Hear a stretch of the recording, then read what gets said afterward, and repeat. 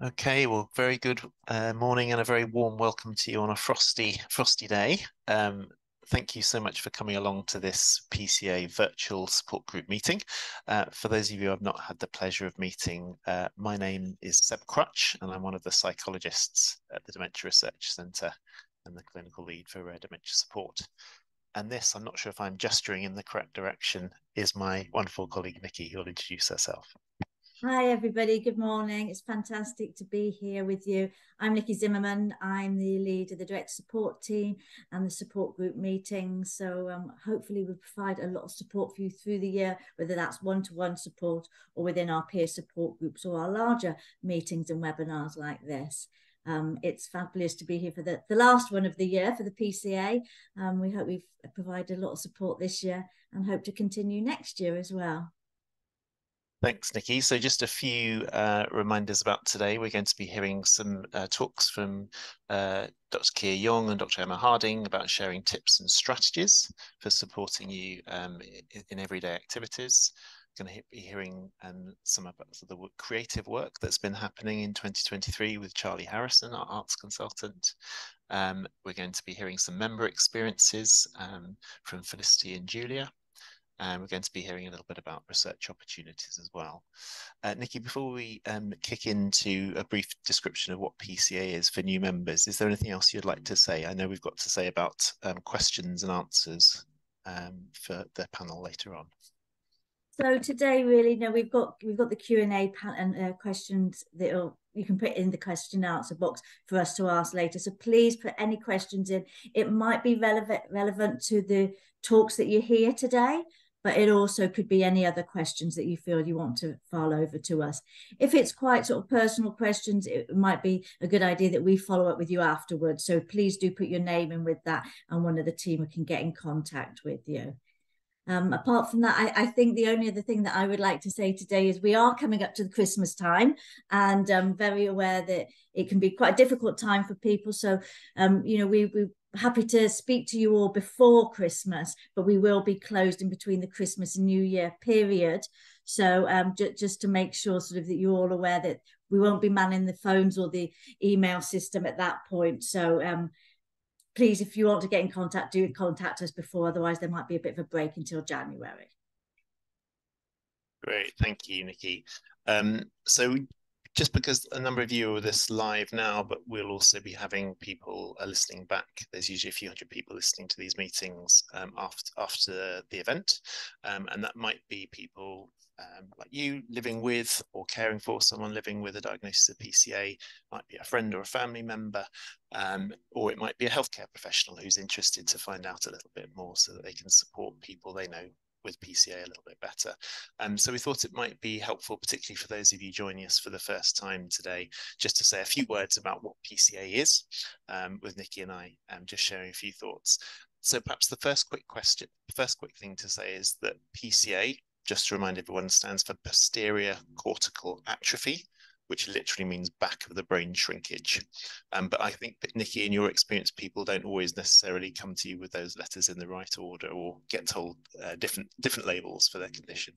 Yeah, quite often we do get people getting the acronym wrong. So I had CPA the other week when, and that was from a health professional, not not by somebody who was living with or caring for somebody.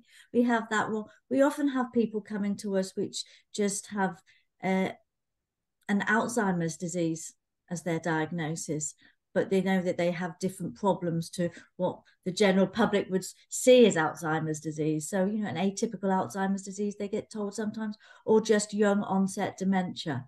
So I think it really is that importance of knowing what the disease is, what the acronym is, and what it actually means for you. It, it really helps with people um, to sort of find their way in their support.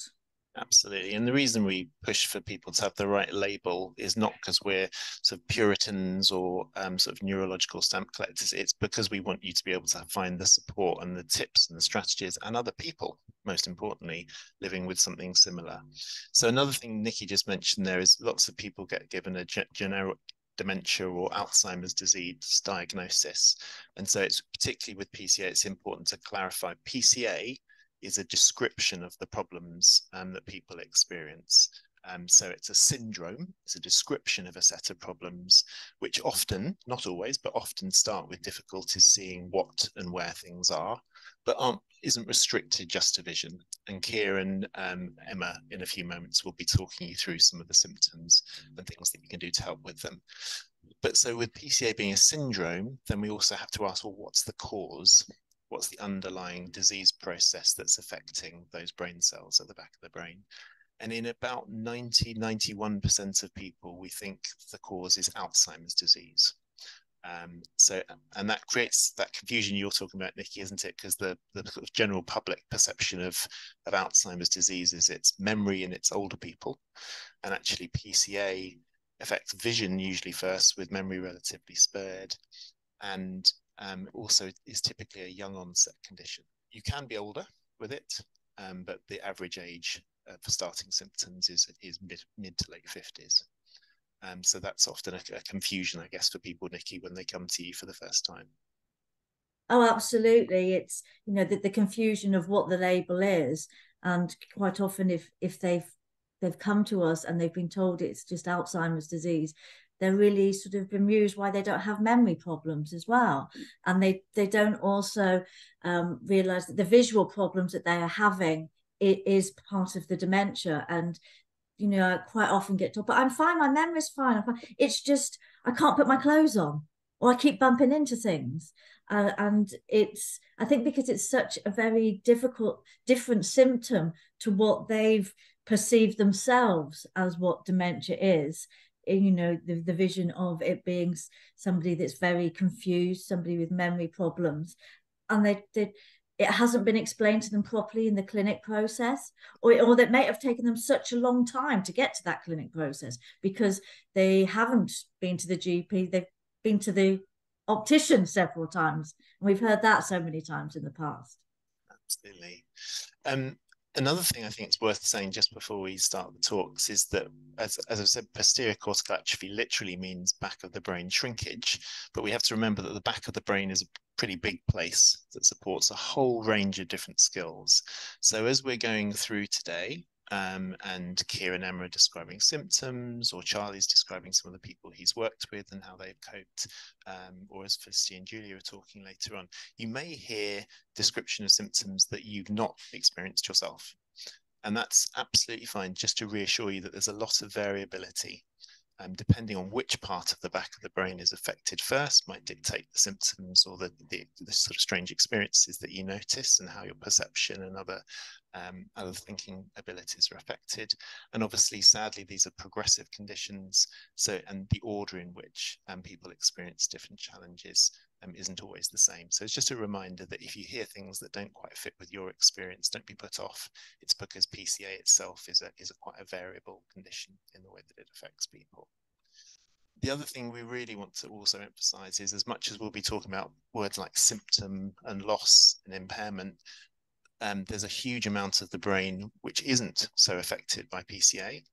And there's obviously there's all of you as a person, which is remains and persists throughout um, despite facing the challenges of one of these conditions. So it's really important, and I hope that I hope you'll see from what we're talking about, and, and also the way we're talking about the experience of living with PCA today, that it's not just about focusing in on those those symptoms, on those weaknesses, but also focusing on continued strengths and all the many many things, passions, interests, as well as higher brain cognitive skills that are spared in this condition, which one can make full use of in order to, to live with this condition.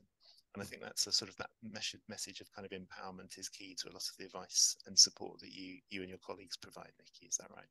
Absolutely, and and we've actually really learned from the experts on this one, and you know that's you people out there that are living with PCA. I mean, sometimes I do feel I should be changing the PCA peer support group to you know the adaptation group and the empowerment group, um, because we hear so many strategies uh, of things that can help people in their everyday lives within these groups. People are fantastic at sharing of I couldn't do this one day, so I really thought hard of how I can adapt that so I can still enjoy it. Uh, and I think that is it. The the the key to that is adaptation. Carry on doing what you're doing, but you've just got to do it in a slightly different way. It may take longer, it may be round the houses, but you know that enjoyment is still there. And I think that that's what's so inspiring, what we what we hear within those groups, and that's what we take to share to other people yeah, it's a really, really important message. And so as we invite um, Keir and Emma onto this to come and join us on the screen now, um, it's just really for us to say ahead of all that you're about to hear, a huge thank you to all of your contributions. If you're new to the group, maybe contributions you may make in the future, because every time you tell us about your experiences, that genuinely helps us to help other people, um, to help people normalize and understand that what they're going through isn't just them, um, but also to share the tips and strategies um, that Nikki's been talking about and that Emma and um, are about to go into in a bit more detail, and genuinely to shape the research that we're doing to understand PCA better, to understand different other dementias better through through the window, through the perspective that you generously offer, and most of all, importantly of all, to create community between those of you living with or caring for someone um, living with PCA um, because that's such a vital part of these meetings. You won't see that quite so much today because we're online, but I really encourage you to try and come along to um, one of our big in-person meetings um, or to join in one of the regular monthly online peer group meetings that Nikki's mentioned, where you can really get a sense of other people and build friendships with other people going through something similar at a similar time. So enough from us. Um, we'll hand over to you, Emma and Keir. Thanks so much for being here, and we'll let you um, proceed with your talk. Thanks for having us. Um, Keir, did you want to just introduce yourself for people who might not already know you? Right, uh, thanks, Emma. Uh, and thanks, uh, Seb and Nikki, uh, for the great introduction. Um, my name's Keir. Uh, I'm a neuropsychologist, uh, similar to Seb.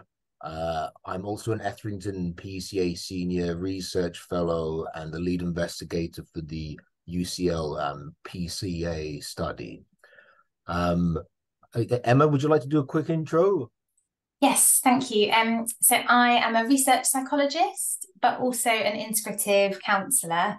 Um, and my work is mostly about understanding what it's like for people to live with different types of rare dementia day to day, like PCA, um, but also developing and delivering interventions to help support people in that situation. And I think Keir you were going to start us off, as Seb mentioned, um, and perhaps especially for anyone who might be joining us for the first time today. Would you mind talking a bit more about some of the difficulties that people with PCA might have that could benefit from some of the strategies that we'll go on to talk about shortly? Sure. Um, and as Seb's mentioned, we're only able um, to talk about things like management strategies and symptoms through people with PCA who shared their experiences of those symptoms and again uh, what approaches may have been helpful uh, in order to manage or mitigate uh, some of those consequences of PCA. Um, I should mention that it's been really over the past 10 years that we've been conducting uh, a series of research investigations essentially to apply our understanding of PCA symptoms to inform ways to better support people living with such symptoms. Um, as Seb's mentioned, uh, it's also worth emphasizing that uh, not everyone is affected by PCA in the same way. Uh, for reasons we don't understand, some people might have uh, differences in terms of their initial symptoms, but also the progression of those symptoms may vary from one person to the next. I, I was going to touch on some particularly uh, common symptoms reported by people uh, as, again, initial signs of PCA, uh, these can include uh, difficulties with um, object perception and localization. For some individuals, this might include difficulties with recognizing uh, everyday objects. Um, for others, it might include this tendency to miss objects which appear to be right under one's nose. Uh, another uh, common difficulty experienced by people um, includes changes in spatial awareness and sometimes mobility. Now, while some of these issues with, um, uh, for example, recognizing objects can be quite counterintuitive, some of these changes in spatial awareness can be even harder to describe. Um, some people with PCA have mentioned things such as it's as if my internal compass feels less reliable. Uh, for others, uh, they might have difficulty with certain aspects of dressing. Um, for example, uh, difficulties locating the sleeves of a jacket behind themselves while getting dressed, or for others, it might be certain buttons, clasps, or zips, which are quite difficult uh, to manipulate. For others still, um, an early symptom of PCA can include difficulties with aspects of reading. So commonly this can um, occur as this tendency to become lost in a page of text uh, with individual words jumbling or, or cluttering up. Uh, and finally, uh, for others, uh, people might notice um, some uh, challenges with aspects of hand-eye coordination. So, for example, maintaining um, eye contact with someone over dinner while simultaneously reaching uh, for a glass that's on a busy tabletop. Now, as mentioned, we've learned a great deal about these symptoms um, through research involving people with PCA. I'm happy to discuss um, these in more detail in the Q&A. Thanks, Kieran. I'm sure lots that you've shared there um, resonating with people watching. Um, could you tell us now a little bit about what the research has helped us to understand so far about the different strategies that might be helpful for people with PCA? Thank you, Emma. Um, so to get across some general principles uh, which we've gained an understanding um, of through research, uh, the first we could broadly consider as minimizing visual clutter and distracting visual information. So this is something which could be particularly relevant to tasks such as reading. Uh, so for example, minimizing uh, surrounding words, which could be adversely jumbling or cluttering up a, a target word, or something that people might notice is with things like when trying to uh, read a string of digits, it can become particularly difficult um, to recognize digits as you're getting to the center of, say, uh, a list of numbers on a credit card. Um, we've applied these findings to the development of assistive technology to promote reading, uh, most notably through the ReadClear app, uh, which people um, you know, are welcome to share further details on. Um, it's also um, uh, been investigated recently through our group uh, that minimizing, again, irrelevant uh, visual information or distracting visual information uh, may be helpful for everyday mobility tasks. For example, supporting people reliably reaching to objects on a busy tabletop by uh, removing or spacing surrounding objects. And also for reducing um, hesitant uh, movements during things like walking by minimizing things like um, a lot of variation in lighting, so a lot of stark shadows, as well as glare. Um, another general principle um, for supporting certain everyday tasks is something which is a little bit harder to um, describe, but you could think of it as almost sort of strategic cues or use of reference points. This seems something which is uh, more relevant to uh, managing aspects of spatial awareness, whereas the approach to decluttering might be more relevant to things like aiding object perception or reading. Uh, and everyday examples of this might be, say, a use of visual cues to aid orientation. Um, so people having to um, think less deliberately about where to head to or locate exactly where they might be. Um, for other individuals, this might be use of uh, tactile or haptic someone might say grasping cues. So everyday examples of this might be, for example, uh, handrails uh, on on a stair. Um, a, a, last example when it comes to reference points uh, might relate to, say, for some people, experiences of, say, getting up in the middle of the night, it taking that much longer to orientate uh, to where one is. Um, things like, for example, a simple night light to provide some information in order to, again, support that person uh, getting out of their bedroom, or even things like fluorescent stickers, um, say, on, on a light switch. I should also mention that there's a lot of ongoing research uh, which we're um, currently conducting, and this is particularly focusing on what combinations of information from our senses, so not just vision, uh, but sense of touch and body position, enables us to reliably perceive and act upon things in, in our everyday environment. Uh, as a researcher, I should also mention that we're often interested in thinking about what sort of findings are consistent across, say, dozens of people with PCA. But something that Emma, I'm sure, will touch upon is how ultimately in everyday clinical practice, we really need to tailor um, any strategies. And we need to tailor them to the individual the particular symptoms that that individual is experiencing, the stage of PCA at which they're at, and also the particular task. So I've broadly been talking about things to do with object perception spatial awareness, but it might be say that something which is helpful for certain aspects of object perception or localization. So let's say it's I want to find my toothbrush on my sink and I've left all these say creams and products out that it might help me more reliably locate it by re removing some of that visual information that actually for someone else where the issue is particularly say with orientation in quite a sort of uh, dare I say, um, sort of bland, homogenous environment like a low contrast bathroom, where actually some sort of visual cue might be helpful in terms of, say, um, uh, determining where it is they've got to go in that setting. Um, that actually you could have uh, almost side effects of overly um, decluttering something for someone who actually needs to have certain aids um, to orientate.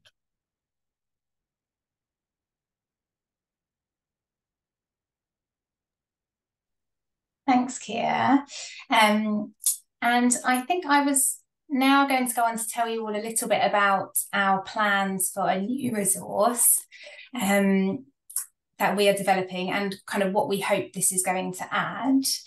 Um, so as Keir has highlighted, um, we do already know something about different strategies that might be helpful for people, but often that sort of information that Keir's just shared is buried in kind of academic journals, or perhaps it's been shared with different professional groups, but it's not always easy to access um, for people living with PCA. And also, even once you find it, it's not always that digestible um, or easy to find the bit in the long paper that actually is relevant for you and that you want to, to read about.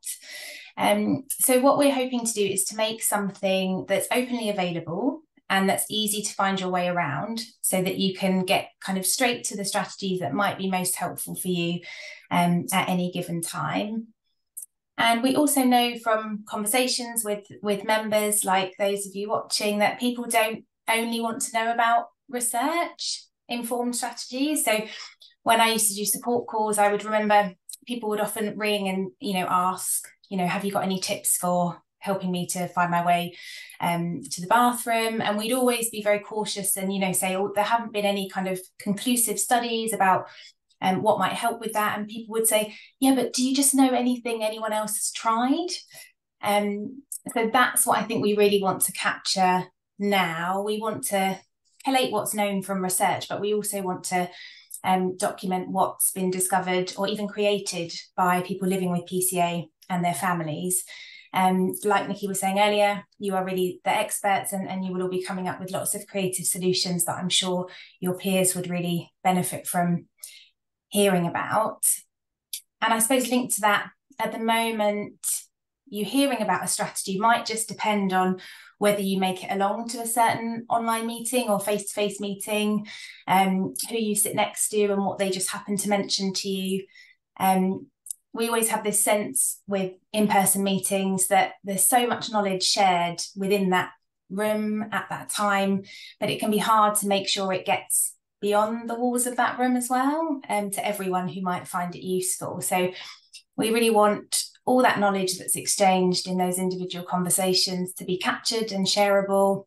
And we also want this resource that we make to be evolving so that we consolidate what we know already but that we can continually keep adding things into it as and when people discover them. Um, so we'll also be setting up some kind of process where we can regularly review any new suggestions and ideas.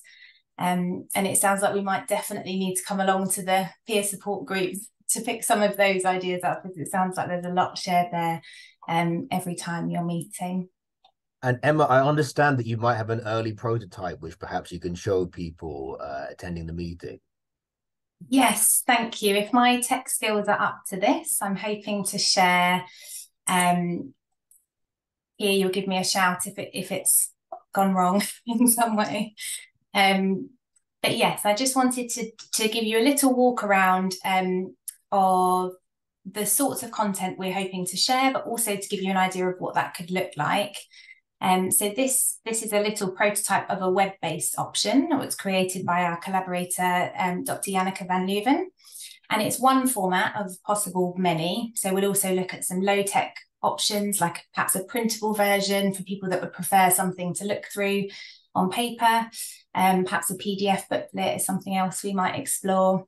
And we'll go ahead with whatever allows us to share strategies with you soonest, basically. So we'll probably do quite a low tech option and then hopefully upgrade later um, if we can. But just to give you a flavour of, of what kind of information we'll be sharing.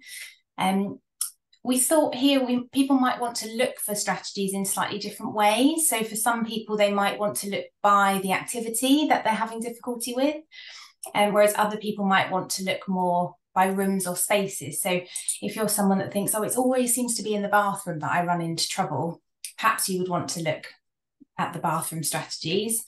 Um, whereas maybe you're someone that thinks, oh, it's usually around meal times that I notice my problems more, then you might want to look at activities.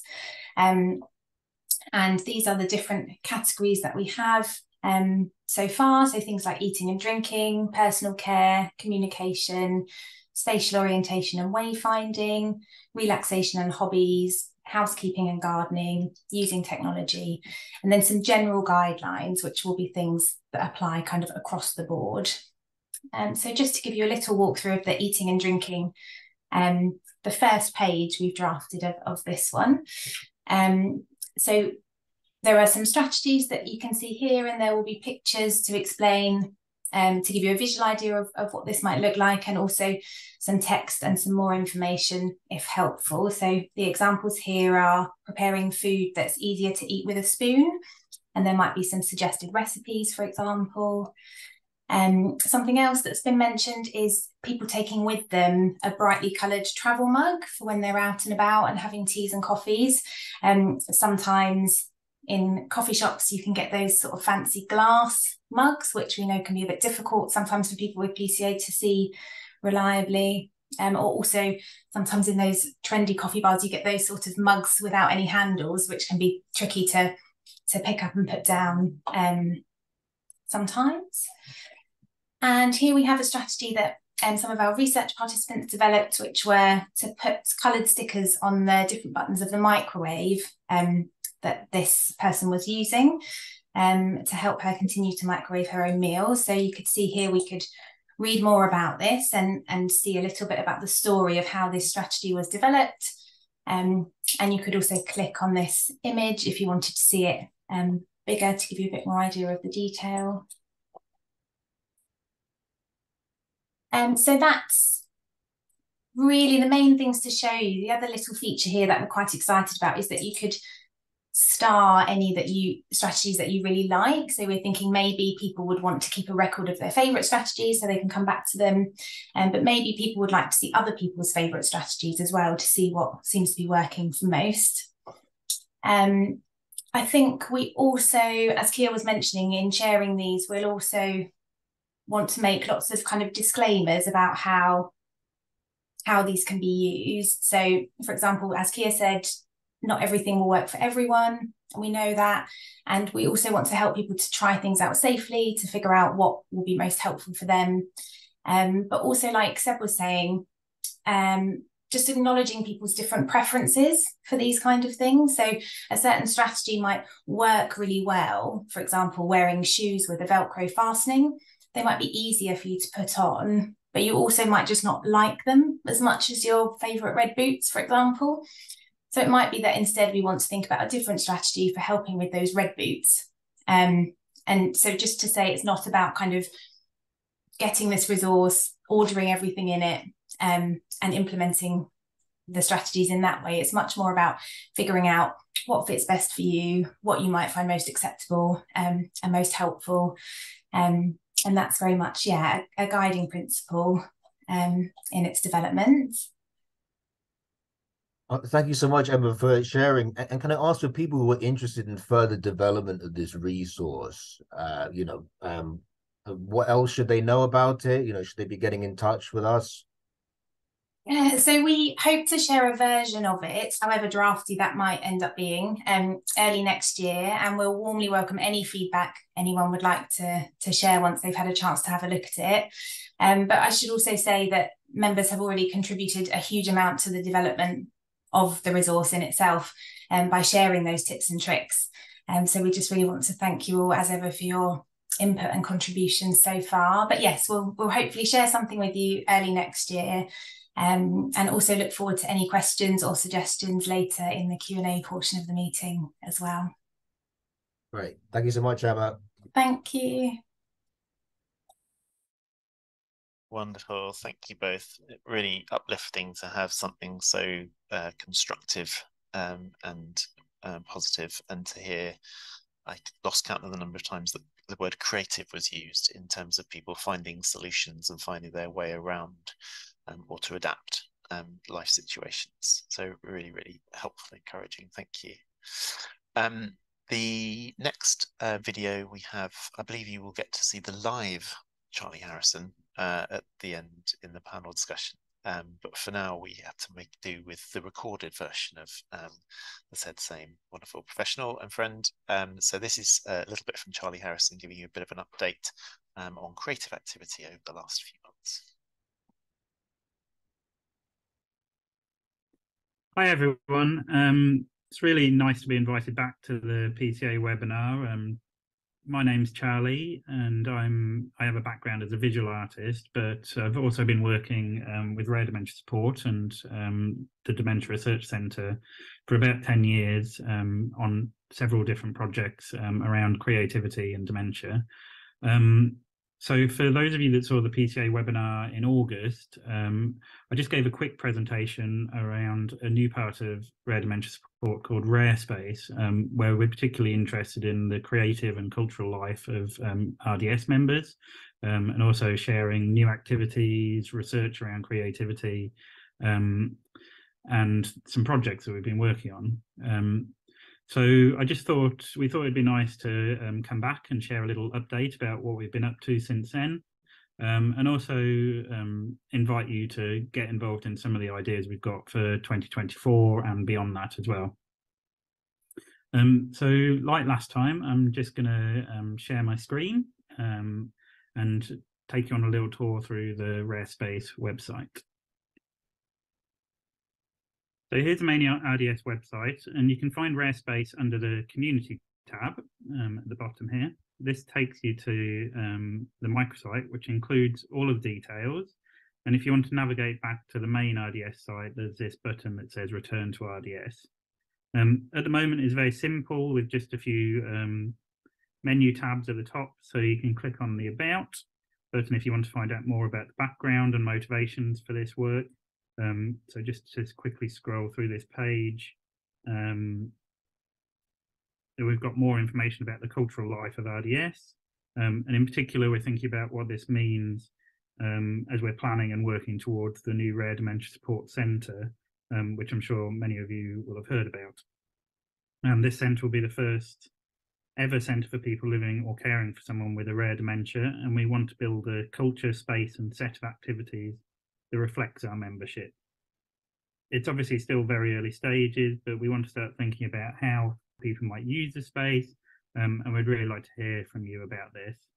Um, also on this about page, we've got some information about the story so far, which gives, gives some background to the many projects we've been involved with alongside RDS members in the past. And there's also a link to an online course we made about um, about dementia and the arts, which I can highly recommend. Um, it's had over 18,000 enrollments since it was launched in 2018. So it's really great to see lots of people are engaging with um, dementia and the arts.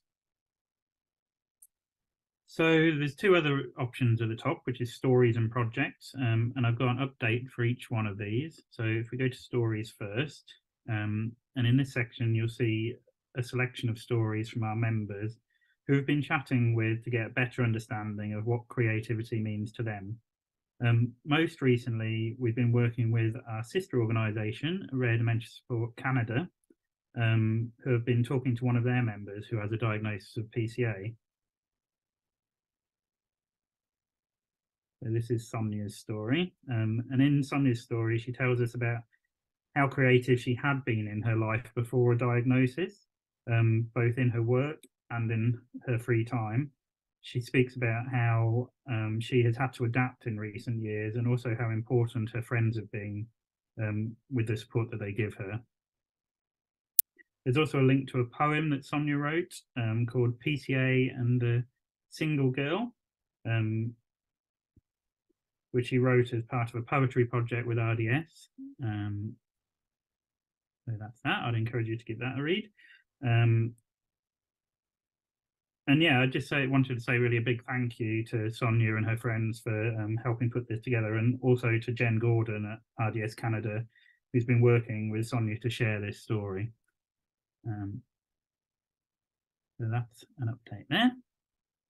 And then if we move on to projects, um, lots of you will, will have participated over the last four years in the RDS Impact Research Project.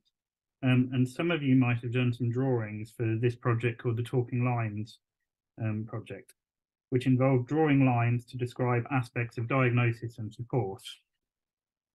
Um, we've been really pleased that some of the outcomes from this research have been part of a public exhibition at the new drawing room gallery um, in their library space, um, and that's in Bermondsey. And we also held a fascinating workshop screening and panel discussion at the end of October um, and you can see some of the pictures here. Um, the exhibition's still open until the 10th of December, and there's also lots of other great artwork at Drawing Room Gallery, so I'd encourage anyone that's interested to go along before that ends. Um, over the long term, longer term, one of the main parts of the exhibition, which we hope will be helpful to communicate experiences of rare dementias, is a video which includes some of the drawings and words from people who took part in this research. Um, we've recently added this film um, to this page on the website, and I thought it might be nice to play the first couple of minutes um, today. Um, the first drawing that you'll see is made by someone living with a diagnosis of PCA. Um, and just to let you know that um, the names and the voices have been changed for this recording.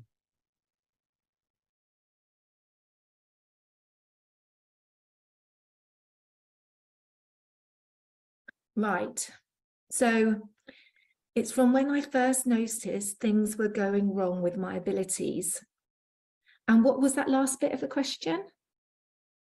So from when you first noticed things going wrong to when you got your diagnosis? When I got the diagnosis, yes. Oh, wow. So lots of little lines yes, it was like an explosion. It was not an immediate explosion over a period of maybe a year or so, where all this was happening and I couldn't understand what was happening. And then as the journey progressed with the assessments and everything, I started to get a little bit of understanding. And then the huge relief, I found it a huge relief when I got the diagnosis it would have been better to have found out there was nothing wrong with you, but I knew there was something wrong with me and losing all my abilities for everything administrative, all numeracy and some literacy, all of those things. I've been self-employed most of my life and all those things I pretty much lost was everything I needed. So it was massive. That's what those little lines represent with all these little things that came together to make this big thing of the build up. And then when I got the diagnosis, to be relieved, to understand.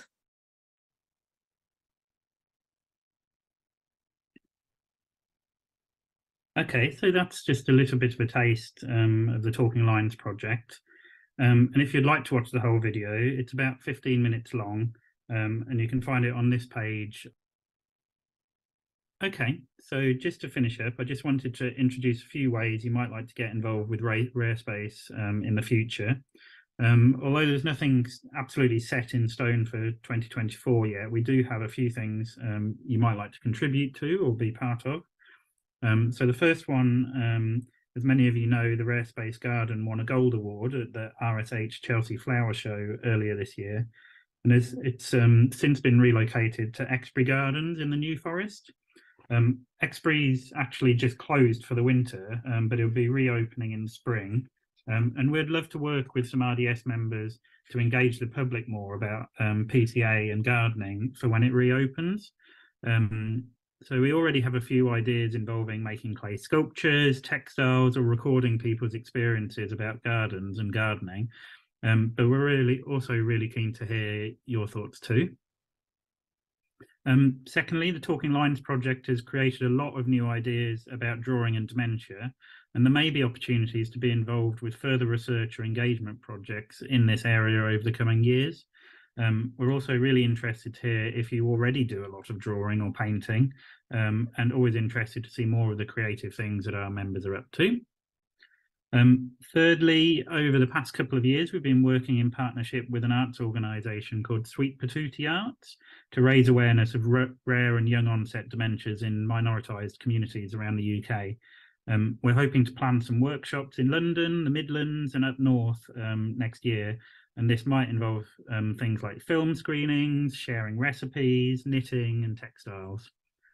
Um, finally, um, you might like to help us with our plans for the creative and cultural programme for the future at um, the Rare Dementia Support Centre.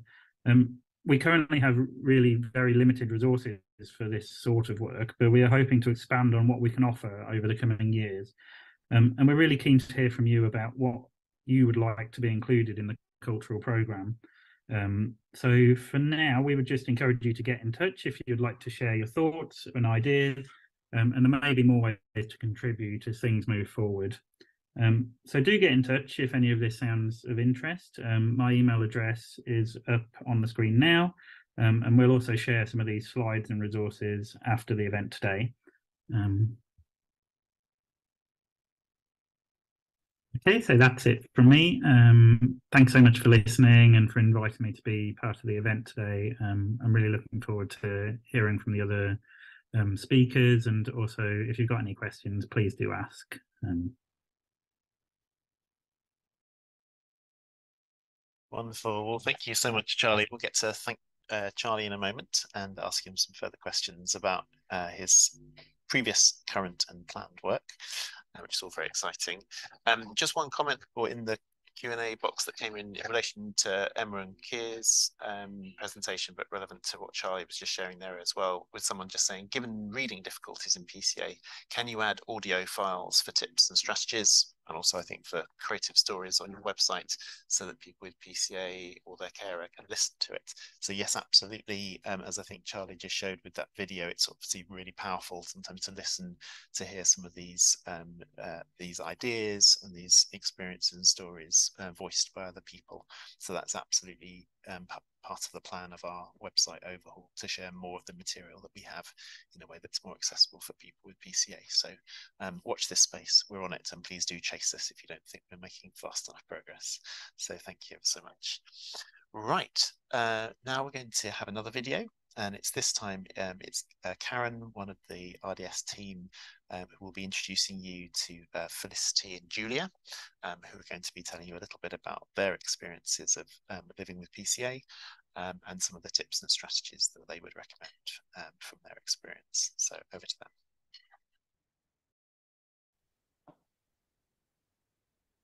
Good morning, everybody. I'm absolutely delighted to be here today with Felicity and Felicity's wife, Julia. Welcome to you two. Hello, thank you. Hello. Lovely to see you both. Um, thank you so much for joining us um, today. We're going to have a chat about tips and strategies for everyday activities um, when you're living with PCA. So Felicity, you have a diagnosis of PCA. I do, yes. Can you tell us about the main issues that affect you that are caused by PCA and how these affect your daily life and what adaptations that you've made at home? That's quite a short question. Um, the main issues, main issues are um, visual perception, um, which I think most people with PCA get, and it's um, the way it affects us. Uh, many ways, sadly, but it's things like making a cup of tea. And there is this wonderful little uh, thingy called um, something, but it's, oh, there's the camera, sorry. There we go. Yeah. And when you put hot water in the mug, um, it starts going when you get too near the top. That's effectively what it does, which is amazing. Um, so reading is another biggie, was another biggie for me and still is to a way, and that is um, that I have two Kindles which I can enlarge the print in, and that is helps me because I can still hold a Kindle, albeit not a book. Um, and um, there was something else I was going to say. Sorry. Uh, it's gone. Right, okay, that's the memory loss. Um, just come in there. Um, telling the time was quite a shock when I looked at a clock and found that I couldn't actually tell the time on it. Um, so now I have a, a watch that talks to me if I press a certain knob and it tells me the time, the date, the year, everything. So it's quite good. Um, and my medication I keep in a set order. So it's the same every day rather than just sort of having it all in a jumble. And it does work that. Um, and um, I have an alarm on my phone, which I've set up, or my wife has, um, which tells me when it's certain times of day for taking other tablets, which aren't just morning and night tablets. Um, is the other thing that's affected me in that way is is I've had a fear. I have a fear of going out on my own. And a lot of people are much braver than me. They get the training of the long cane, which is the long white stick with the ball on the end. Um, and they go out or they have a guide dog and you see them whizzing around the roads. I think, whoa. Um, and they're amazing people. Um, but I'm not that amazing in the sense that I it has taken away my independence and self-esteem, but that's just me. Um, a lot of other people have ways of, of working it, controlling it, whatever, not PCA, but controlling how their life is. Um, and I suppose the things are um, walk in shower. Am I at that stage yet? Yeah. Um, we had a we had a bath and we just had the walk-in shower put in, and it has a Grab there. grab rail in it, and it's really amazing. It's so so useful. It means I can actually have a shower every day. Um, cooking, I don't cook, so I don't have that problem. For those of you that do, I'm really sorry. Um, uh, blah, blah, blah. I the layout of the house. Um, what I did for a little while, not often, but I did for a while, was close my eyes, so I couldn't see anything. And I tried. Well, I tried. I worked my way around the house, so that if my eyesight's bad one day, then at least if I open my eyes, I've got that bit more, and I can then get around the house on my own, can't I? Yes, you can. Um, um, But- Explain how your white cane helps you when you're out. What what was happening before you learned how to use a white cane? um, I wasn't going out. I was falling over. And Um, tripping on curbs and yeah. potholes. mm, yeah. Um, Um, so that does help, but it's really I only feel safe, as I said, with Julia, which is a, a tie on her, I know. But I will use my white cane out now, um, but not on my own. I just, I'm maybe it's because I'm 73 and very old, but I really don't have the, you know, whatever. Um, so, and then there's other things that when you do go out, like, um, what are they called? There's these traffic lights. there's traffic lights for Pelican- going over the road. Um, Pelican crossings. Pelican crossings, that's the word I want. Um, and underneath them, not every single one, but a lot of them, they have, if you put your hand underneath them, which looks weird, but there's something, a little knob underneath, which is sort of like a rubbery feeling, isn't it? Yeah. And when the lights have gone green, okay, there's a noise there, but you also get this feeling of like it's it sort of. Buzzes on your finger, and then you know it is safe to walk over the road. And I think that's a lot of people. I've never heard of that before, and I think a lot of people don't know. And I think it's a really handy one to have or to know. Let's put it that way. Go on. So stairs.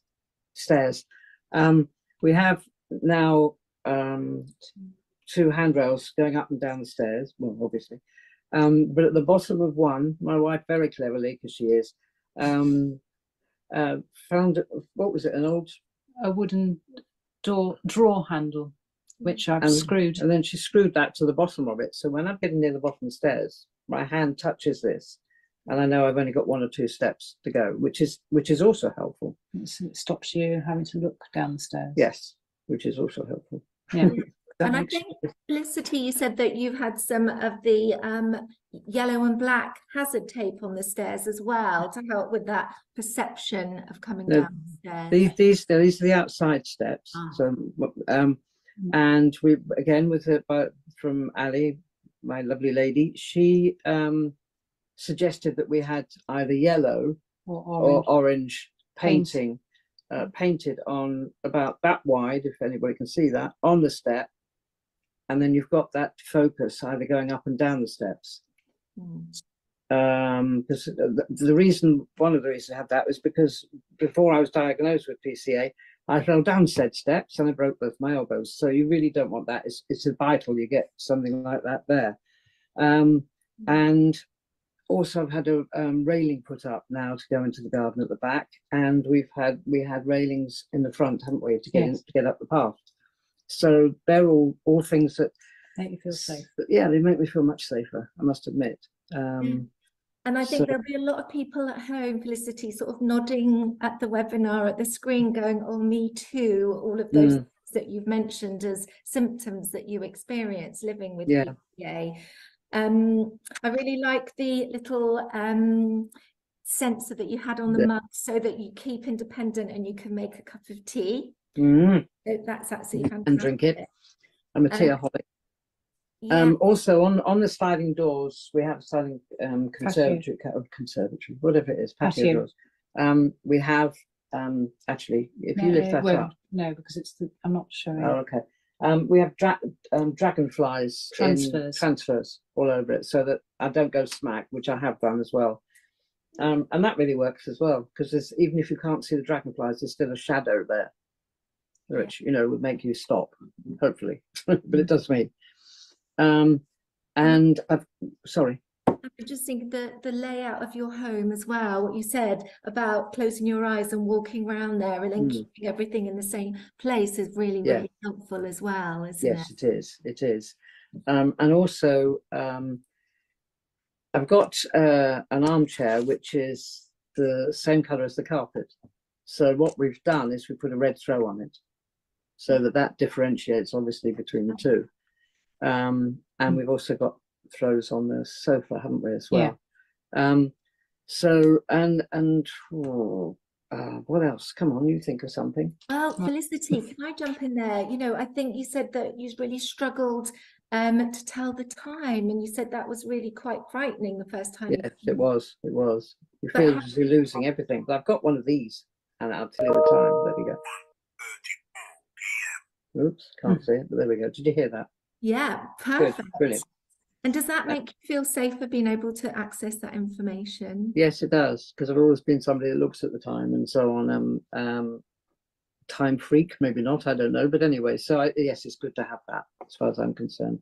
Or if I wake up in the night, then I can under the bedclothes sort of put it on. I can hear it, and then I know. Oh no, it's not time to get up yet. so you know, go back to sleep. Hopefully.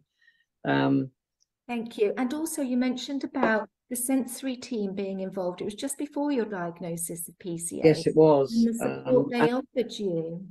it was amazing. I don't think there are many sensory people that are, um, with every council.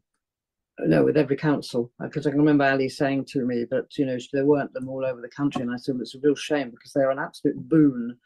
Um, as I say, she taught me how to use my white cane. She was somebody who would listen to me. We, we would go out to different places, uh, you know, sort of like the park and stuff for me to use, practice the game. Um, also And- lots of different gadgets, which we tried in the early Mm. days. But and when, when they weren't any good, not not any good, but when they weren't right for me, then we obviously let her have them back. But I can remember when um, she first heard that or that I had the um, diagnosis, and she was in shock, and I could tell um, because she'd only ever had one person that she'd ever dealt with before, Mhm. and um, so she's she very kindly still rings me once a month just to see how I am. It's not part of a job, but it is, and we just have a bit of a chat, and then you know. But she has been so supportive, and it's a shame they haven't got them all over the country. Um, Well, we do have sensory teams, but again, it can be a bit of a postcode lottery, but they should be with all the local authorities around the country and you can yeah, they access should. them. They really should. um, Yeah. through the social care team. But I think the lovely thing that you told me earlier was how she taught you how to use the rolling cane. So you no longer had to look down anymore and could enjoy Mm. it outside. Yeah. Yes, I mean it takes some practice, I must admit, but once you get used to it, because it's the rhythm of it, obviously as well, which is, I said, I can remember saying to her, I'm never going to get this, and she said, yes, you will, and of course you do, and it becomes second nature.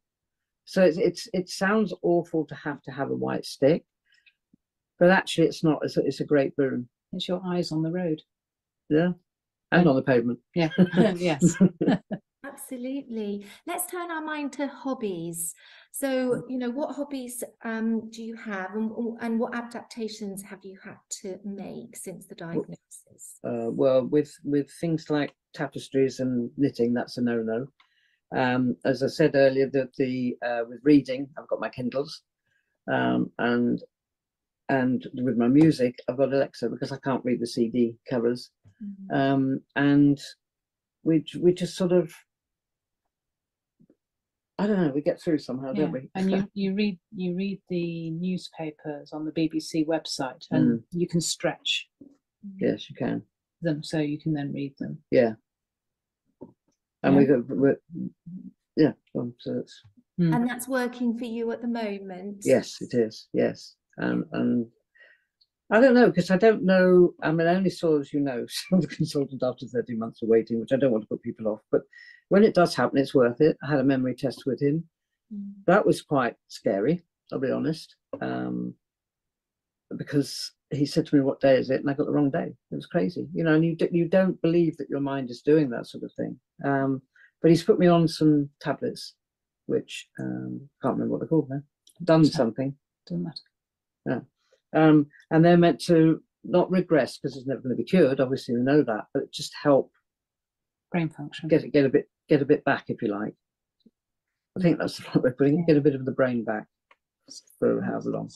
Can help and be supportive, can't it? Mm, yeah. For some Yeah. people. Mm, Thank you so much, guys, for you know coming in and having a conversation with me today. There's been so many tips and strategies in there. I just feel that so many of our members will just be nodding at home, going, "Me too." I didn't realize it was just me. So thank you so much for sharing all of those. And I know that you're both going to come and join us in the next few moments or so to the panel um, and Seb will be hosting that, and I'm sure there'll be some questions for you about some hints and tips that you'll be able to share with our members. okay. So thank you guys so much for coming along today and having this chat with me. Is there anything before we close up, because we've got another minute or so, that you would like to leave and share with the group today? I think it's um, sorry. I think it's um, just don't let don't let it get to you. Totally. I know it can do. I'm aware of that. But there are ways around different things, and it's finding those out more than letting Yeah. it get you down. We have a, a game with uh, Felicity's great nieces that if Felicity forgets a word, they have to guess what the missing word is when we because they're only nine and eleven, and they don't know what what this is yet, and I hope they don't for a while. But yes, it was a game I sorted out for last Christmas. I thought of, and I said to my niece, "Is that all right?" And she went, "Yeah, it's a great idea." And they thought it was great fun, didn't they? Yeah. Look at GBA. They call me GBA. Look at GBA. She she can't she can't remember that word. Yeah, will you help me then, kids? You know, and it worked. And it's if everybody can sort of think up little things like that, it's it can help. have a sense of humor um, and and actually um, the PCA peer support groups are great both for yours and as a carer there's one for me and actually Facebook there are a couple of really good Facebook support groups for carers in particular Yeah. um, I want to just jump in there and just say I am so lucky to have Felicity, who's been coming for a year now to um, our PCA peer support group, a very valued member. Um, and it's a delight to um, share some time with Felicity every month. And you share some amazing strategies at those monthly meetings, Felicity. Thank you so Thank you. much. Right, we better draw this to a close and hand it Okay. back to Seb. Thank you so much again, both of you. you're welcome You're welcome. Bye. bye Wonderful. Well, thank you so much. As Karen said, uh, uh, Felicity and Julia will be joining us again in a moment. Um, but thank you not just for the huge number of uh, creative tips and ideas and solutions, which, as Karen mentioned, lots of people will have been nodding along to or thinking, "Oh, let's try that," but also the sense of inspiration in which I don't I don't say lightly, but it's often the case that people, particularly when you're living with something big and making having to make lots of changes um, because of something like PCA, there's a difference between a good idea and a good idea that you can face, that you can accept, and that you can put the time and the effort into using and making use of. And so, particularly helpful for those, those of us perhaps with slightly lower energy levels um, than than uh, Felicity was just exhibiting there. Really inspiring to have uh, to hear of someone who's put the effort in. You were talking about, for example, with the roller cane. It's not instantly a fix or in, isn't instantly helpful, but I think Felicity was saying about by putting practice into it, um, giving it some time, that it actually became second nature. So I just wanted to acknowledge that these, when we make these recommendations for tips and advice, we don't do it lightly. And we know that there's a lot that goes with that. And so it's helpful to not just hear the good ideas, but see um, how that can be put into practice in real life. Uh, really encouraging. Thank you. Um, so just before we move on to the panel discussion, uh, just going to uh, give you a short uh, video uh, with Emilie Brotherhood, um, telling you a little bit about some uh, current research opportunities. Thanks everyone for having me here today. Um, for some of you, I'm becoming a very familiar face in seminars and webinars as I've spoken about this research uh, with you before. However, this is the last chance to take part in this piece of research, and so we will run through one final time as a reminder, and for anyone here today who may be coming to the webinar for the first time. So my name is Dr. Emilie Brotherhood, and I'm speaking to you all this morning as part of the team doing research into designing better online support for PCA, and crucially to ask for your help. As part of an upcoming research project, we're designing new online support programs, one for people living with PCA and one for family and friends of people with PCA. We're making these programs to be delivered online so that they can reach more people and so that you can access the information within the program day or night. But we understand that making support group programs that are accessed online only can have its challenges. The more technical issues, the less likely it is that the programs will be used, for example. And so we want to minimize these challenges and learn from your success stories and what's worked well for you before when you've been finding out information about PCA or accessing PCA support about you or your loved one's health online. The more people we hear from at this stage, the more we can learn from different perspectives of the lived experience of PCA, which means we can use this information to tweak how we make these support programs, which truly puts you and your loved one's needs at the heart of its design. So how you can help us is you can tell us about your experience of accessing health information online by completing a survey. There are three different links available depending on your lived experience. So there's a survey, firstly, for a person with a diagnosis of PCA, a second survey for any family member or friend listening um, who lives with or knows a person with PCA, and thirdly, for any healthcare professionals in the audience who may be supporting someone with PCA. The survey takes approximately 10 minutes to complete and will ask you questions such as your internet use and preferences in accessing health information, your attitudes towards web-based resources, so how well you like using things like Zoom, some questions about your general health and well-being, your views about security and privacy online. I'm delighted to say that to date, we've heard from 380 people with an experience of rare dementias such as PCA, and this is 99% of our target as we're trying to reach 385. So we are very, very close to reaching our 385 target by Christmas. And so we would really appreciate any of you interested in taking part to respond to this survey. The links for the surveys will be available in the follow-up email that will come around to you after the webinar has taken place. The last thing for me to say is a huge, huge thank you to those of you listening who are considering taking part between now and Christmas, and of course to those of you listening who have already taken the time to complete the survey. We look forward to hearing your responses and we will come back to let you know our findings. Thank you very much.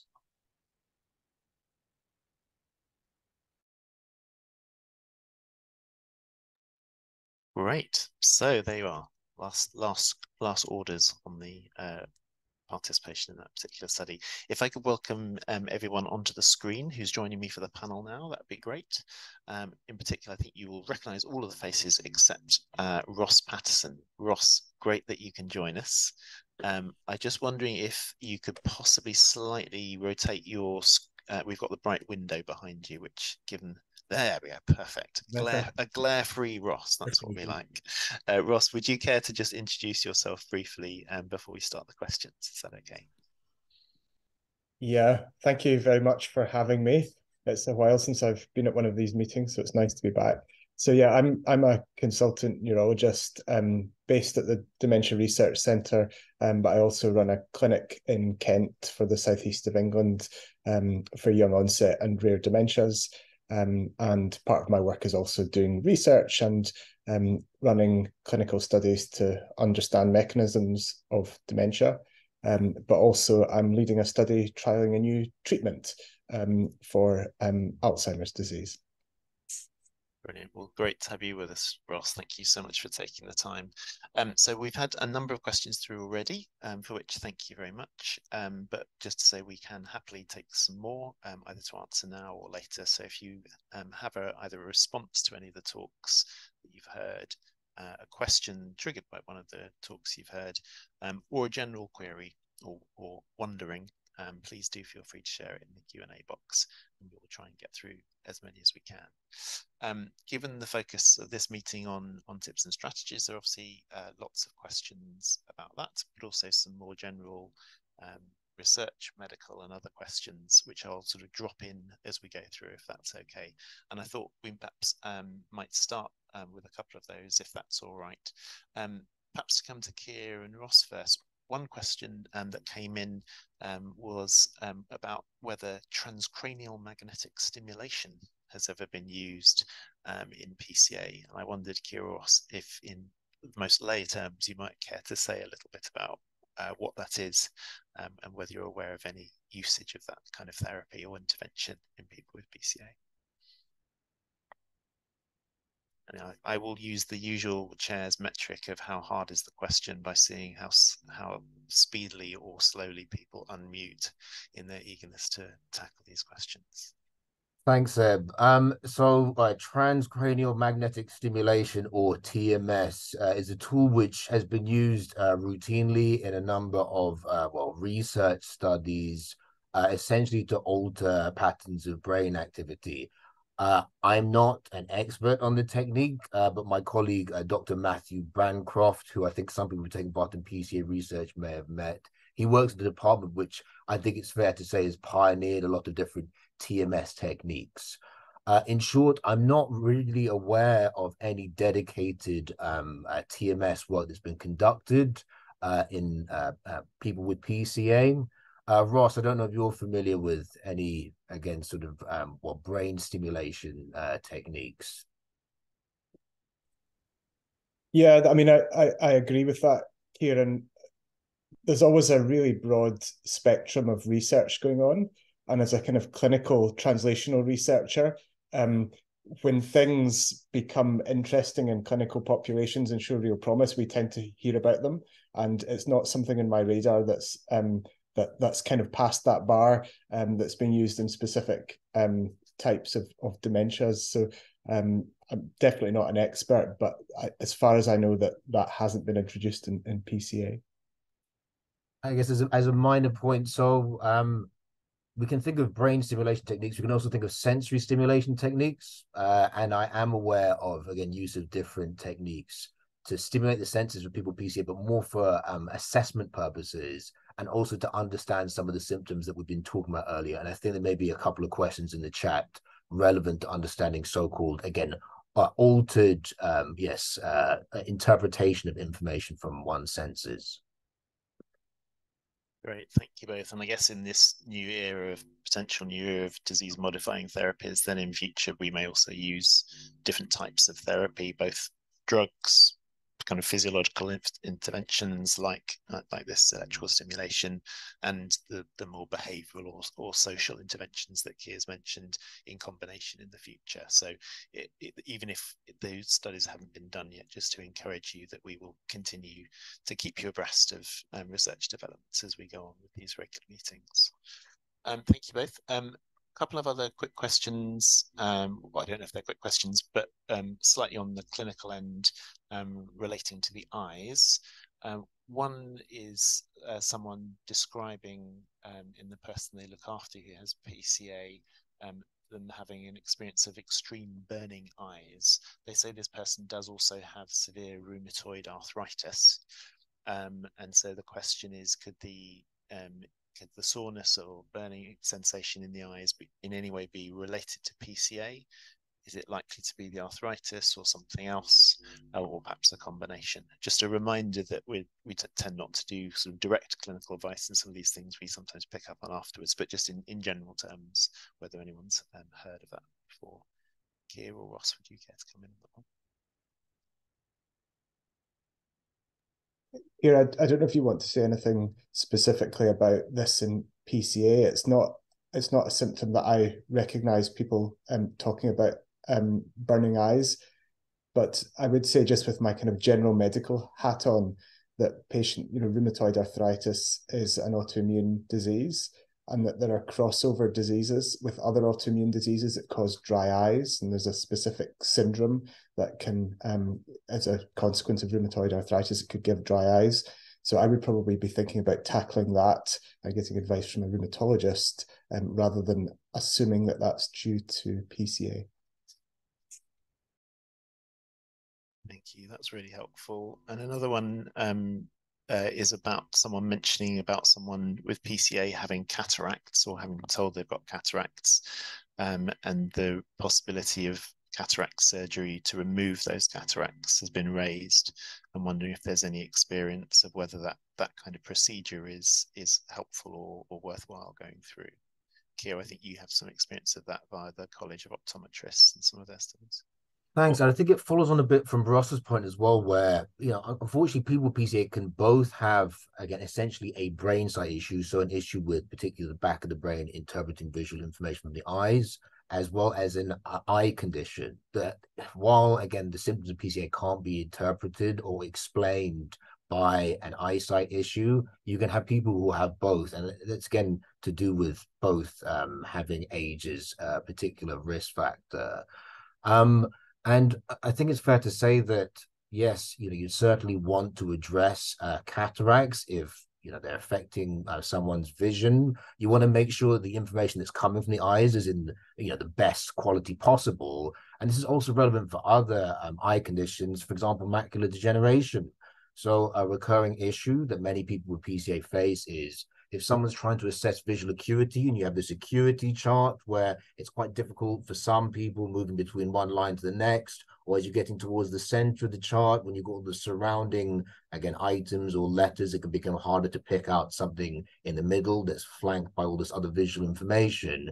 And it, be it can become harder to assess uh, something like visual acuity reliably. But it's important to be able to do that for someone who's got macular degeneration and you're evaluating how they're responding, say, to a treatment. And that's something we've worked on uh, with the College of Optometrists in Moorfields Eye Hospital is improving uh, visual assessment uh, for people who have uh, PCA. Great, thank you so much, Keir. Um, Felicity, did I see your your hand up? Did you have a comment on cataracts? Or... Yes, I I had a cataract removed about a year before I was diagnosed, and that was when really the problems with sight were coming out after the cataract was done. And I was convinced at the time that something had gone wrong with my cataract, but obviously that I was wrong with that, and it helped eventually with the diagnosis of PCA. So yeah. Great, thank you so much. Um, shifting tech a little bit there's a sort of interesting mixed bag of questions. Um, one question that's come in, which is, I guess, a general one, perhaps any, any of you may care to to speak to, um, but particularly um, Emma and Nikki, perhaps, um, is is there a particular order of deterioration? Someone is asking about kind of how to know what to expect um, not so much in terms of time span, but in terms of the symptoms or difficulties that might be um, might be experienced. And I guess Felicity and Julia, you may have may have comments on this as well. And shall I start? Well, I suppose the answer to that is yes and no. and listening to everyone, we all have to sort of realize everybody is very different. We see very similar um, symptoms coming in from people um, you know, trouble with getting dressed, uh, trouble with seeing things, stairs, as, as Felicity said, things like that, um, problems sort of with mugs and things like that, and um, and visual problems reading. But we also sort of, especially when we're in the groups, we do hear quite a variation of symptoms that are coming in that that aren't spread across the group. And I, I think, and I always do warn people sort of within the groups, this may not be happening to you. It may not happen to you at all, or it may happen in a different order. So I, I, I do really appreciate everybody wants to be prepared for what's coming next and would almost sort of like this sort of list of what to tick off with it. But um, sometimes it is in a slightly sort of different order as well for people. Emma, you've done quite a lot of sort of research with this. Yeah, so I think exactly as, as Nikki's saying, there's definitely that want to know what might happen when, but then there's also that difficulty of having to say, you know, it's different for everyone. Um, but I think that has driven us over a number of years now, and some of you may have completed it. We've been doing a survey about the different stages of PCA, and that's been in various different iterations um, to try and find out yeah any general patterns we can about how those things progress and and what things are commonly seen um, and actually in the last iteration of that we added in um, a question about each stage um, in terms of what people found helpful to do at that stage. So again, bringing in the strategies. Um, I don't know, Seb, if you're able to update at all or Keir on on where that is on or next steps for that, but it's definitely something that we we know is a need and and we're working on collating and sharing that information. Thank you. Yes, um, Keir, I don't know if you want to comment, but um, just to say that will hopefully be um, available in the next couple of months. And yeah, the real the real change there was not only updating it and getting more people um, to give their views about um, what was missed previously um, and the and the rate of change, um, although it's always different for every person, but also to add in a few more of the less commonly um, talked about, particularly sensory symptoms, and also some of the psychological and psychiatric symptoms um, that can be that can accompany it. Uh, Felicity and Julia. I, just wanted to say that quite often, um, a few years before one knows one has PCA, you're having these these things happen to you, and you have no idea why. And and that's strange because nobody can give a um, reason yeah reason for it. Um, like I was always um, several because I got this late, um, much later than normal. Uh, it was about seventy minutes, whatever. But uh, I used to take the dogs for a walk before all this happened, and I was aware that I was zigzagging down the road, and if anybody had seen me from behind, they would have thought I was drunk, um, and things like that. And then when I fell um, down the garden stairs and broke both my elbows, then it started it, you know, and realizing what something must be wrong. So somebody helped me because, it, you know, I was bumping into things and so on. So I think it is the fact that it is the fact that a lot of these things happen before it's diagnosed. And I know obviously that helps in a way for the diagnosis, but sometimes it can be quite a long time to get the diagnosis, especially up north. Just to, you know, but you know, it is it, it can be difficult initially, but there are ways around it, and I think that's the plus thing about it all. Yeah, absolutely. And I think one one person, particular Charlie, I was going to come to you in a moment to perhaps say how some of the people you've worked with have kind of adapted their their kind of creative passions as as things have have developed or new symptoms have emerged. But I know that one of the words that people have we I've personally found most helpful is hearing people talk about recalibration in the in the sense it's difficult to know what's a big issue and sometimes something that was a big issue or, or something you particularly wanted to focus your efforts in trying to tackle um, perhaps a few months or a year or so later doesn't seem like the top priority and you've kind of re- recalibrating to a different a different challenge. Um, so it's not just a sort of a, a sliding scale. These, these are sort of fresh fresh challenges that come along which require sort of new and creative thinking Charlie, I don't know if that's mirrored in your experience with how people engage in different creative projects as well. Yeah, I think so. I mean, I suppose there's um, this element of learning new things as well that's come out of the conversation a bit today. Like sometimes maybe there are things that you did before that are now more difficult, but then there's also opportunities there to to try new things as well. And and yeah, pe- people have definitely come up with some interesting strategies um, creatively. Um, someone who made paintings would rotate their canvas because they, they were struggling to work in the center of the canvas and found that rotating and working around the edges was much easier. um, another person I've spoken to would tape off areas to sort of avoid some of that visual clutter element that Keir was speaking about earlier. Um, someone even was having problems manipulating their hand um, for for using like a brush or a pencil or thing. So I actually found that strapping the brush to their wrist was more more helpful. Again, these things aren't necessarily going to be like across the board, but um, I think it speaks really to the fact that um, creativity exists not just in the thing that you're sort of making, but also in the way you're approaching it. Um, and of course, some people also have just found that um, working in a more abstract way um, with what they're doing, or like um, encouraging other senses like touch and things like that, might might be sort of quite pleasing in itself.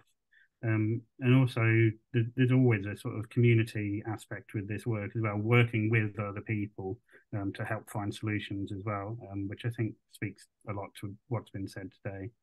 Great, thank you. It's really, really helpful sort of general principles that apply not just to those creative projects, but to wider life. Thank you. Um, Emma and Nikki, I just wanted if I could come to you because a couple of the other comments and questions have come in, particularly from um, those who are supporting someone who at a more advanced stage of PCA, where um, uh, perhaps a number of these tips and strategies have been helpful, but have had slightly had their day. And so for people who are perhaps based in a chair more now and who are finding interacting much more difficult, wondering whether the resources um, and the tips and whether there are other tips and strategies that can be shared and helped um, for people in those more advanced stages of their condition. Thank you. Um, yes, yeah, so one, I suppose one of the we were talking with the strategies about different ways of dividing them up and different ways you might want to look through them. And I think that stage is another category that we might want to organize things by. And I could imagine, um, yeah, there's slightly different modifications and recalibrations of different techniques for different stages. Um, so that could certainly be something we want to think about when we when we organize those strategies. Um, and I think a lot of those guiding principles we've been talking about, you know, who the person is and things they're interested in and um, finding different ways to engage with those things. That's something that happens at the very earliest stages and also is something um, that probably continues into the more advanced stages as well. Um, so yeah, certainly be looking to capture some examples of what those could look like. Um, I don't know, Nikki, if you wanted to say anything about the later stage provision in general. Um, yeah, I think so. Yeah, thanks, Emma. And I completely agree. Sort of collecting sort of people's ideas, but sort of with the late stages, sort of understanding as well as the disease progress and people getting tireder a lot quicker that you know having large activities or long activities aren't going to be suitable and sort of managing time sort of for short bursts of really stimulating activities and using the senses a lot more as well you know especially sort of found fantastic smells and touches so aromatherapy um, massages um, hand massages. And especially sort of this time of year when you know coming up to christmas instead of be people going out to do things bringing that into the home. And we do that at christmas all the time. We have christmas trees we have wonderful smelling sort of pine potpourri around and things like that but being able to use those smells to use these activities within the home regularly sort of throughout the year in different ways. They're using a lot of um, sort of more care home facilities a sort of namaste approach where they are looking at using the senses in very short bursts through the day um, to do sensory activities with people.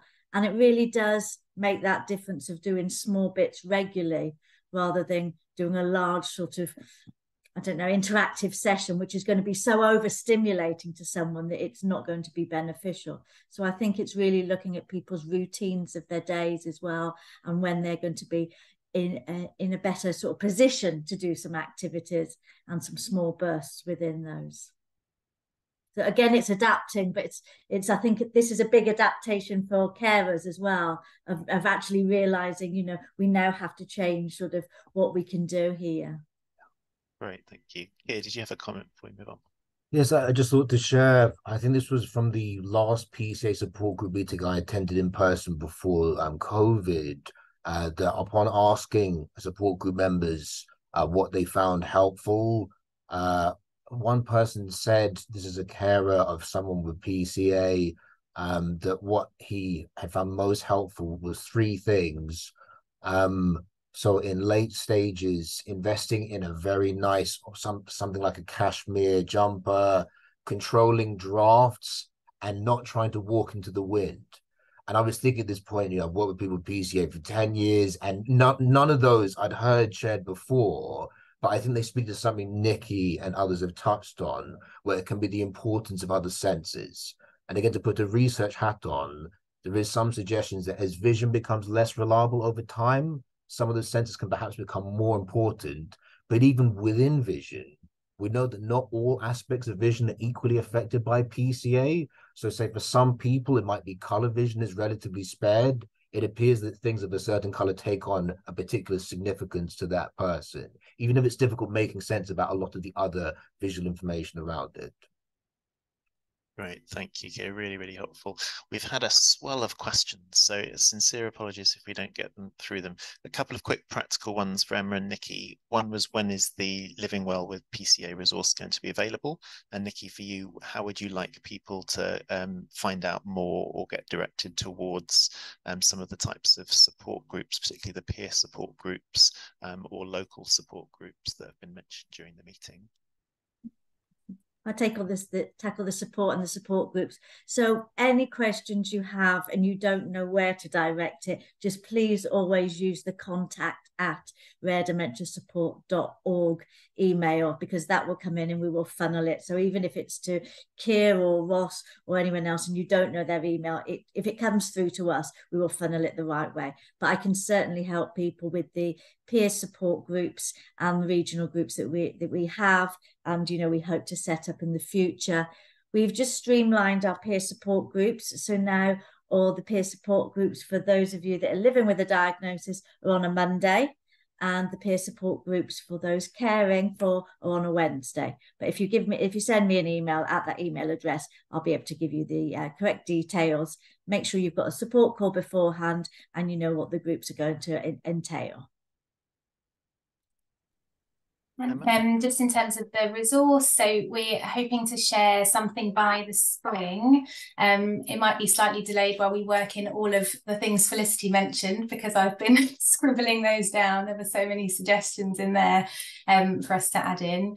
Um, so yes, by the spring, and I know the question was also about how to find out about it. it if you found out about today's webinar, you'll find out about that because we'll share it in the same way. So via the RDS communications. Um, so yes, you won't miss it. Wonderful, thank you. In the couple of minutes that are left, I'm sorry to do this to you, Ross and Keir. A couple of questions that have winged away, their way into us include, um, is there a genetic risk of getting PCA? And also, is there any update on the Alzheimer treatment drugs, lecanemab and donanemab, um, that either of you could share? Perhaps I could talk a little bit about risks, and then Ross can uh, take care of update on anti-amyloid immunotherapies and any other, um, again, uh, clinical trials currently ongoing. Um, so I think that the key message regarding risk for PCA is that again the biggest risk factor is going to be age, and for all intents and purposes, the PCA syndrome itself, as Seb put it, doesn't appear to run in families. There's also some suggestions that slightly confusingly that while uh, the strongest genetic risk factor associated with Alzheimer's disease is also associated with PCA. That the so-called risk effect associated with PCA is actually a bit smaller for PCA than more typical memory-led Alzheimer's disease. So again, but the key message is PCA doesn't appear uh, to run in families. Excellent, thank you, Ross. Uh, I'll respond specifically. I think someone's written a question in the chat about when lecanemab and donanemab are likely to be rolled out in the UK. So the, I think I would see this as being in three stages. So the first stage is the UK MHRA. So that's the board that oversee the safety of medicines and they decide whether it's suitable for a, a medicine to be adopted. Um, and the result of that's expected early to middle of next year. There's then the next question of whether NICE, which is the organization that recommends whether a treatment is value for money. And so that is a separate process that will follow on from the MHRA recommendation. And then there's the question of practically how does one roll that out um, in in in practice? And you know these drugs are given intravenously in infusion suites regularly, and quite honestly, the NHS does not have the capacity to roll this out. Um, there's also a question of how are people going to be diagnosed, and do we have the tools to diagnose people? So I think it's going to be a while, and um, I would say to people not to get their their their hopes up. Um, and if we look at what's happening in the states, um, you know, they're a couple of years ahead of us in terms of the regulatory approvals. And in clinical practice, very few people are actually receiving this. Thank you. Uh, so that draws us to a close. Um, I'm so sorry that we've not managed to get to everyone's questions. There were questions about hot and cold flushes, about um, spelling and writing problems, about how to put in eye drops, and a whole host of other uh, comments and queries. So we will try and respond to those um, uh, via email after the event, along with a link to the recording so you can watch back anything that you'd like to.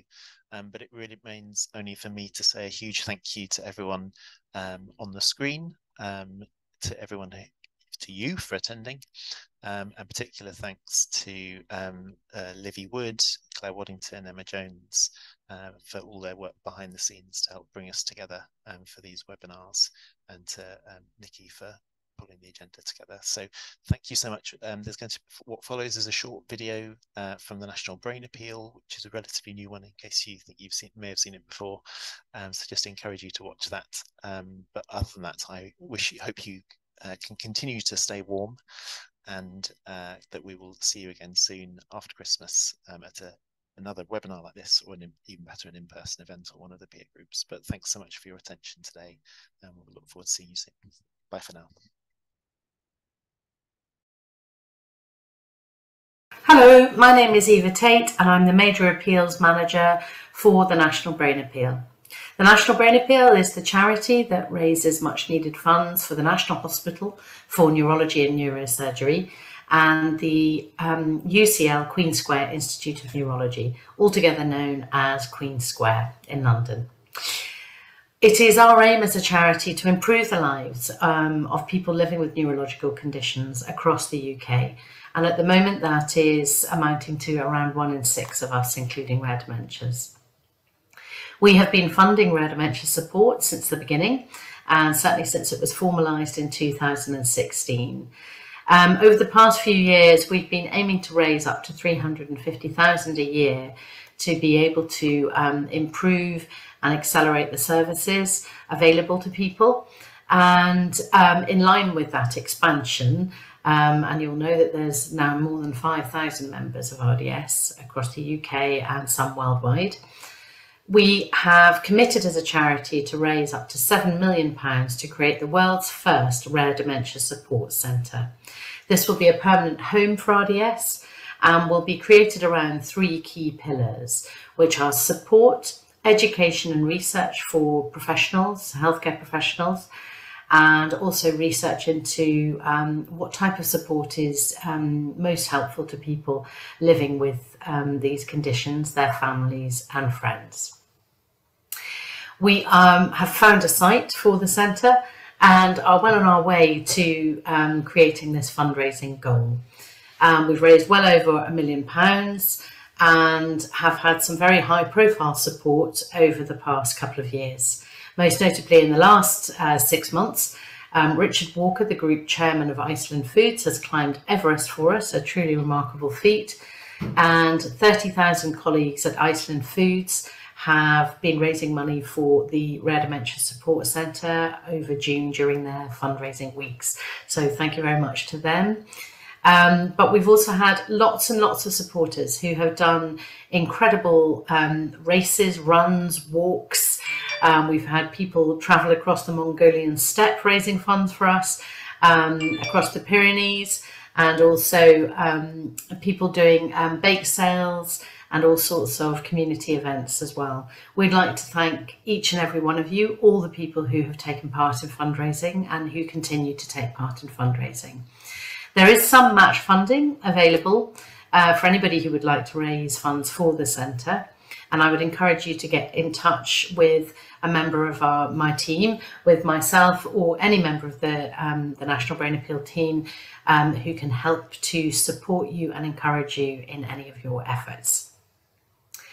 Um, we also had a garden at Chelsea Flower Show this year where the designer Charlie Hawkes worked with members of RDS, um, particularly those living with posterior cortical atrophy, to create an incredibly beautiful garden that went on to win three medals, uh, one of which was a gold at Chelsea. So we're absolutely delighted by the awareness raising that this brought about um, and all the coverage on um, BBC.